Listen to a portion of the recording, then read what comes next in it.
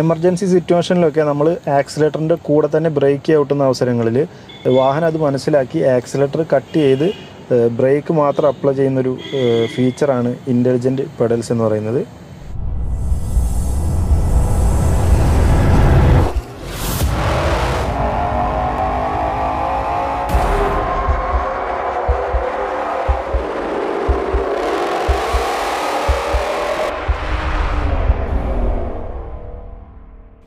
Hi friends ഞാൻ ഷെഫി പാഞ്ഞാൾ wheels and വാഗണിലേക്ക് സ്വാഗതം. രണ്ടായിരത്തി പതിനേഴ് മുതൽ ഇന്ത്യയിൽ വിൽപ്പന ആരംഭിച്ച sub four meter compact S U V സെഗ്മെന്റിൽ വരുന്ന ഡബ്ല്യു ആർ വിയുടെ വിശേഷങ്ങളുമായാണ് ഇന്ന് വന്നിരിക്കുന്നത്. ജാപ്പനീസ് വാഹന നിർമ്മാതാക്കളായ ഹോണ്ടയുടെ ജനപ്രിയമായിട്ടുള്ള മോഡലായ ജാസിന്റെ അതേ പ്ലാറ്റ്ഫോമിലാണ് ഡബ്ല്യു ആർ യു നിർമ്മിച്ചിരിക്കുന്നത്. ബ്രസീലിലും ഇന്ത്യയിലുമാണ് വാഹനത്തിന്റെ അസംബ്ലി നടക്കുന്നത്. ഇന്ത്യയിൽ രാജസ്ഥാനിലാണ് ഡബ്ല്യു ആർ വിയുടെ അസംബ്ലി നടക്കുന്നത്. വിൻസം റെനോബോട്ട് വെഹിക്കിൾ എന്നാണ് ഡബ്ല്യു ആർ വിയുടെ ഫുൾ ഫോം തൃശ്ശൂരിലുള്ള ജോൺ സോണ്ടിൽ നിന്നാണ് നമ്മൾ ഡബ്ല്യു ആർ വിയുടെ വിശേഷങ്ങൾ കാണാൻ പോകുന്നത്. അപ്പോൾ വാഹനത്തെ ഡീറ്റെയിൽ ആയി ഒന്ന് നോക്കാം.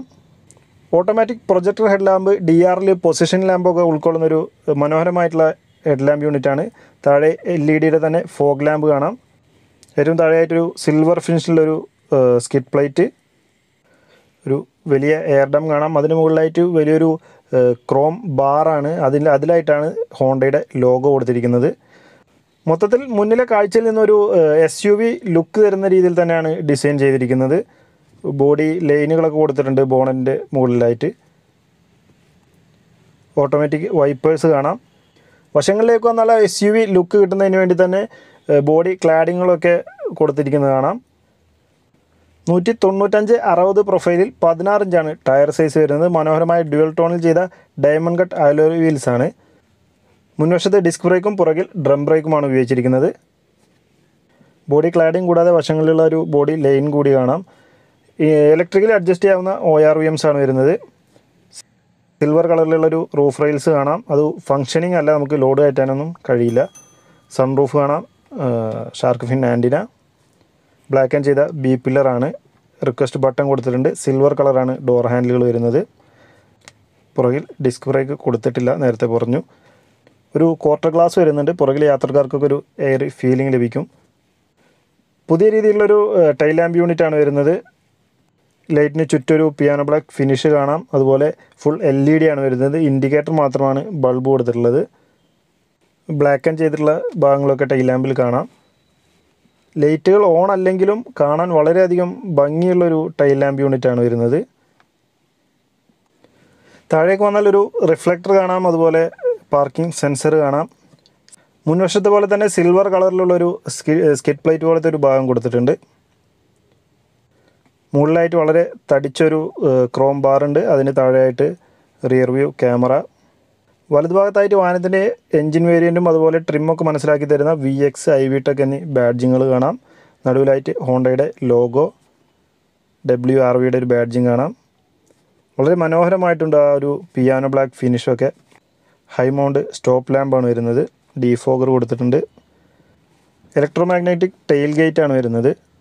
മുന്നൂറ്റി അറുപത്തി മൂന്ന് ലിറ്ററാണ് ബൂട്ട് കപ്പാസിറ്റി വരുന്നത്.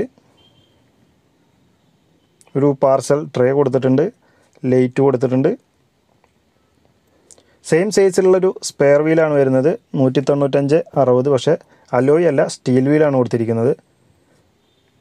പുറകിലെ സീറ്റ് ഫോൾഡ് ചെയ്ത് നമുക്ക് ബൂട്ട് കപ്പാസിറ്റി വർദ്ധിപ്പിക്കാൻ സാധിക്കും. അതൊരു സ്പ്ലിറ്റ് സീറ്റ് അല്ല വരുന്നത്. ഒറ്റൊരു സിംഗിൾ സീറ്റാണ് രണ്ടറ്റത്തായി കൊടുത്തിട്ടുള്ള ലിവറുകൾ ഈസി ആയിട്ട് നമുക്ക് പുള്ള് ചെയ്ത് സീറ്റ് മുടക്കാൻ കഴിയും. അപ്പോൾ ഇനി നമുക്ക് പുറകിലെ യാത്രക്കാർക്ക് കൊടുത്തുള്ള സൗകര്യങ്ങൾ എന്തൊക്കെയാണെന്ന് നോക്കാം. ഒരു സിംഗിൾ കളർ കളറാണ് ഇന്റീരിയർ ചെയ്തിരിക്കുന്നത്. അതുകൊണ്ട് തന്നെ ഡോറും അത് ഒരു സിംഗിൾ കളർ തന്നെയാണ്. ബ്ലാക്കാണ് കൊടുത്തിരിക്കുന്നത്. ചെറുതായി ഒരു സിൽവർ ഫിനിഷൊക്കെ അവിടെ ഇവിടെ ആയിട്ട് കൊടുത്തിട്ടുണ്ട്. ഒരു ഫാബ്രിക് ഫിനിഷ് കൊടുത്തിട്ടുണ്ട്. ഡോറിലെ ഹാൻഡ് റെസ്റ്റ് വരുന്നത് ഒരു സോഫ്റ്റ് ടച്ച് തന്നെയാണ്. പവർ വിൻഡോയുടെ ബട്ടൺ ഒരു സ്റ്റോറേജ് സ്പേസ് സ്പീക്കറൊക്കെ കാണാം. സെന്റർ ടണലൊക്കെ ഏകദേശം ഫ്ലാറ്റ് തന്നെയാണ്. നല്ലൊരു സ്പേഷ്യസ് ആയിട്ടുള്ളൊരു ക്യാബിൻ തന്നെയാണ് ഡബ്ല്യു ആർ വിയുടെ ഇന്റഗ്രേറ്റഡ് ഹെഡ്രസ്റ്റുകളാണ് കൊടുത്തിരിക്കുന്നത്. നല്ലൊരു ലെഗ് റൂം അതുപോലെ നിയർ റൂമൊക്കെ ലഭിക്കുന്നുണ്ട്. ഡീസന്റ് ആയിട്ടുള്ളൊരു ഹെഡ് റൂമും ഒക്കെ തന്നെയാണ് വാഹനത്തിന്. മുകളിലായിട്ടൊരു ഹാൻഡിൽ കൊടുത്തിട്ടുണ്ട്. ഒരു ക്യാബിൻ ലാമ്പ് കൊടുത്തിട്ടുണ്ട്. അവിടെ ഒരു ഹാൻഡിൽ കൊടുത്തിട്ടുണ്ട്. വേറെ യാതൊരുവിധ സൗകര്യങ്ങളും പുറകിലെ യാത്രക്കാർക്ക് കൊടുത്തിട്ടില്ല. എ സി വെന്റുകളില്ല ചാർജിങ് പോർട്ടുകളില്ല സെന്റർ ആംറസ്റ്റ് ഇല്ല അതുപോലെ അഡ്ജസ്റ്റബിൾ ഹെഡ് റെസ്റ്റ് ഇല്ല അങ്ങനെ തീർത്തും ശോകമാണ് പുറകിലെ കൊടുത്തിട്ടുള്ള ഫീച്ചേഴ്സ് ബേസിക് ആയിട്ടുള്ള ഫീച്ചേഴ്സ് പോലും കൊടുത്തിട്ടില്ല എന്നതാണ് ഷോക്കിംഗ് ആയിട്ട് തോന്നിയ ഒരു കാര്യം. വളരെ നല്ലൊരു ഗ്ലാസ് ഏരിയ ലഭിക്കുന്നുണ്ട്. അതുകൊണ്ട് തന്നെ നല്ല വിസിബിലിറ്റിയാണ് പുറകിലെ യാത്രക്കാർക്ക് ലഭിക്കുന്നത്. നല്ലൊരു എയറി ഫീലിംഗ് തന്നെ ലഭിക്കും. പക്ഷേ ഹോണ്ടയിൽ നിന്നും നമ്മൾ കുറച്ചുകൂടി പ്രതീക്ഷിക്കുന്നുണ്ട്. പുറകിലെ യാത്രക്കാർക്ക് കുറച്ചുകൂടി സൗകര്യങ്ങൾ തീർച്ചയായും ലഭിക്കേണ്ടതുണ്ട്. അപ്പോൾ ഇനി മുൻ സീറ്റിൽ എന്തൊക്കെയാണ് സൗകര്യങ്ങൾ നോക്കാം. നേരത്തെ പറഞ്ഞ പോലെ തന്നെ റിക്വസ്റ്റ് ബട്ടൺ കൊടുത്തിട്ടുണ്ട്. പുറകിൽ കണ്ട പോലെ തന്നെയാണ് ഡിസൈനിങ് ഒക്കെ. ഫാബ്രിക്കിന്റെ ഒരു ഫിനിഷ് കൊടുത്തിട്ടുണ്ട്. സോഫ്റ്റ് ടച്ചുള്ള ഭാഗങ്ങൾ കൊടുത്തിട്ടുണ്ട്. ഒ ആർ വി എമ്മിന്റെ കൺട്രോൾ പവർ വിൻഡോയുടെ കൺട്രോളുകൾ ചൈൽഡ് ലോക്കിന്റെ ഒക്കെ ബട്ടൺസ് കാണാം. സ്പീക്കർ അതുപോലെ ഒരു ബോട്ടിൽ ഹോൾഡറൊക്കെ കാണാം. മാനുവലി അഡ്ജസ്റ്റ് ചെയ്യാൻ ഹൈറ്റ് അഡ്ജസ്റ്റ് ചെയ്യാൻ കഴിയുന്ന ഡ്രൈവർ സീറ്റാണ് വരുന്നത്. അവിടെ ഫ്യൂൽ ലിഡ് അതുപോലെ ബോണറ്റ് തുറക്കാവുന്ന ലിവറുകൾ കാണാം. പെഡൽസ് കാണാം. ഒരു പ്രോപ്പർ ഡെഡ് പെഡൽ കൊടുത്തിട്ടില്ല വാഹനത്തിന്.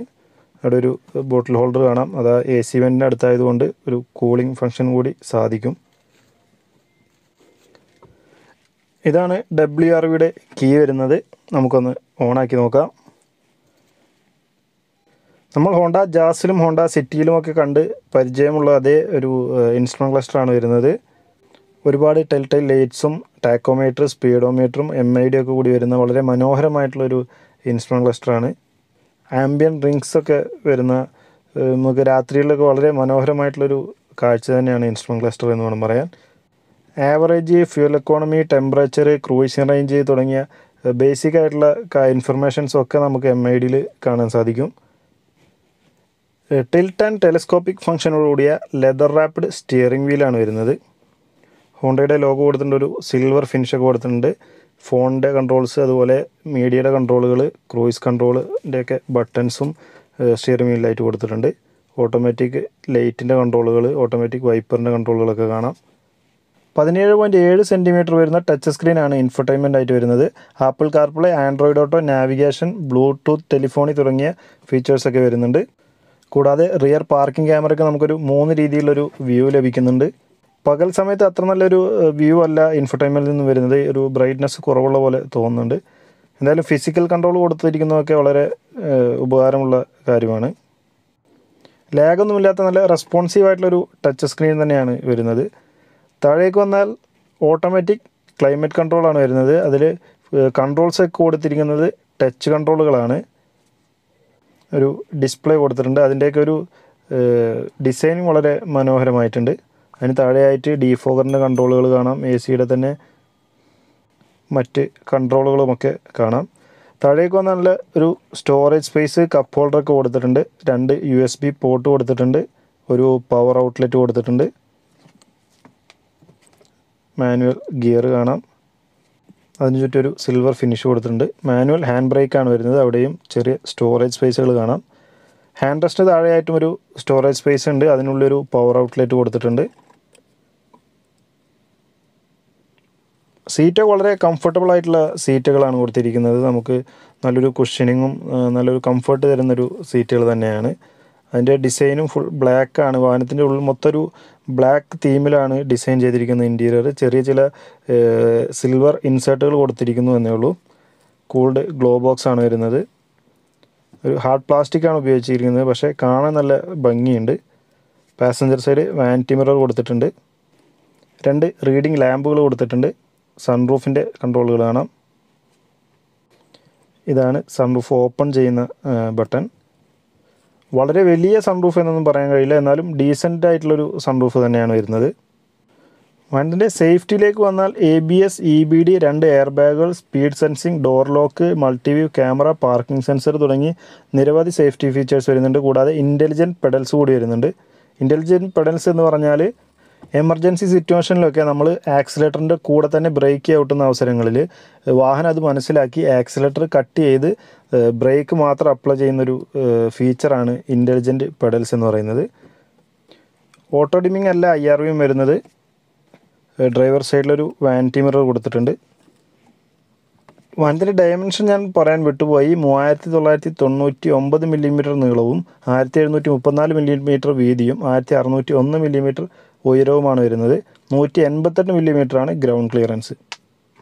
നാൽപ്പത് ലിറ്ററാണ് ഫിൽ ടാങ്ക് കപ്പാസിറ്റി വരുന്നത്. അഞ്ച് പോയിന്റ് മൂന്ന് മീറ്ററാണ് ടേണിംഗ് റേഡിയസ്. ഇന്റീരിയർ മൊത്തത്തിൽ നോക്കിക്കഴിഞ്ഞാൽ പഴയ സിറ്റിയിലും ജാസിലും ഒക്കെ കണ്ട അതേ രീതിയിൽ തന്നെയാണ് ഡിസൈൻ ചെയ്തിരിക്കുന്നത്. മാറ്റങ്ങളൊന്നും തന്നെ വരുത്തിയിട്ടില്ല.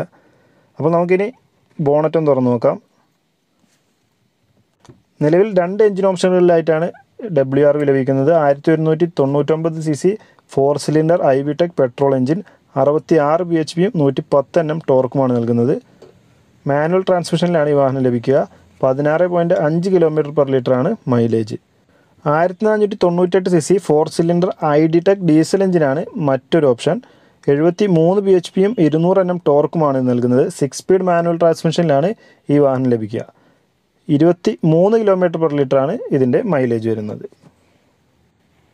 പത്ത് ലക്ഷം മുതൽ പതിമൂന്ന് ലക്ഷം വരെയാണ് ഡബ്ല്യു ആർ വിയുടെ എക്സോറും പ്രൈസ് വരുന്നത് മൂന്ന് വർഷത്തേക്ക് അൺലിമിറ്റഡ് വാറന്റിയാണ് ഹോണ്ട ഡബ്ല്യു ആർ വിക്ക് നൽകുന്നത്.